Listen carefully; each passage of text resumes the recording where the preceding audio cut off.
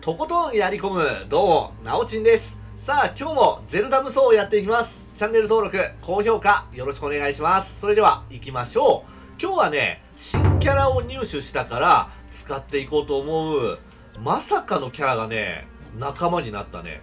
こいつ。見覚えある人は、いると思うけども、俺も驚いた。同志、水巨子や。言い言いにくいな。水巨子や。えー、ブレスオブザワイルドの裏ボスみたいなやつだよね。こいつがまさかのプレイヤブルキャラ。使ってみようか。あ、入手の方法なんだけども、ここだね。下の方にあった。ここら辺。同士の帽子の、えっ、と、マークのクエストがあるんだけども、これを3つこなせば入手できました。まあそんなに難しくないので、はい、早めに入手してみてください。強いのかな？ちょっと装備がね、めちゃくちゃ弱いんだけども、29って弱すぎだろ。まあ、使ってみよう。推奨レベル33だから、いけるでしょう。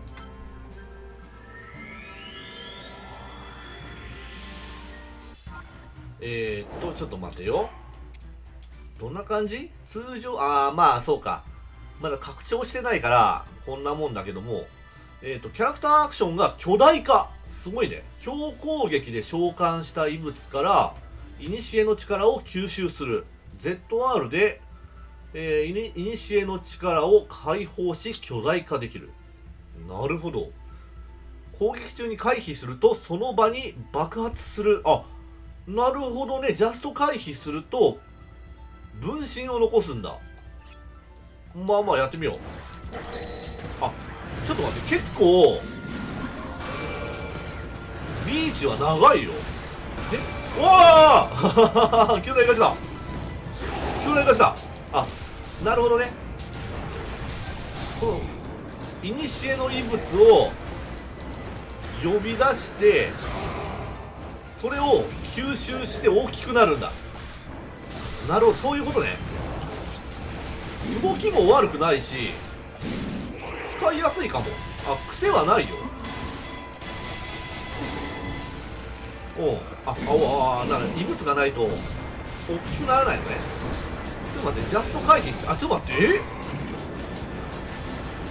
ジャスト回避じゃなくて、普通に回避するだけで、爆発する。すげえな、これ。でかっ でかっめちゃくちゃでかい。面白いこいつ。なるほどね。ただ回避するだけで敵ボッコボコやっていけるからこれなんだ攻撃力が上がったらむしろこの回避だけで戦っていけるとこれボンバーマンだ。こいつボンバーマンだわ。はいはいはい。なるほどね。うん。攻撃の出も早いしすごくいい。いいキャラだ。で爆弾は？あ爆弾は？あなるほど。魔法陣みたいなのが出てその下からね。でビタロックは癖のない感じで止めれた感じだね。でこれは？ああ見えなかった。あまあ普通だな。通に上に上がる感じのやつですね。でえっ、ー、とマグネは？あー使えないか。あちょうどいい。一緒。うん。癖がない。使いやすいこれは。あでも巨大化のねするタイミングっていうのはちょっと覚えなきゃダメだな。うん。この鉄球は残るから吸収しやすいのよね。ああれ？えな何個もやらなきゃいけないの？はい。おおかっこいいこれ電気出るやつだ。おおその場に電気を発するんだ。これで吸収。ああかなか難しいね。で必殺技どんな感じなんだろう。ちょっと必殺技を見てみましょう。まあ巨大化するわな。おおビーム。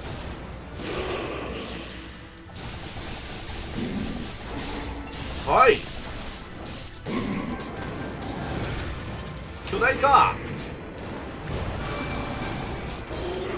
なるほど。使いやすい。